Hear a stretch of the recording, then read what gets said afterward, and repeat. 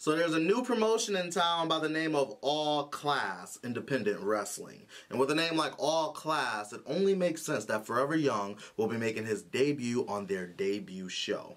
Fun fact, this will be my 11th debut for a promotion this year. And I've debuted at a different promotion every single month this year. But enough about me, on to my opponents, Father Marquise, KJ Reynolds, and Caden Monroe us four in a fatal four way, we're practically guaranteed a solid match, right? So, I mean, when I win, uh, we all win because you three are here to get more eyes on you, and I'm here to get more eyes on all class.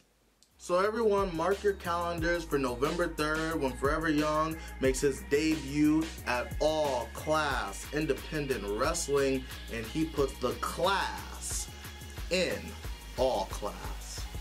You don't want to miss it.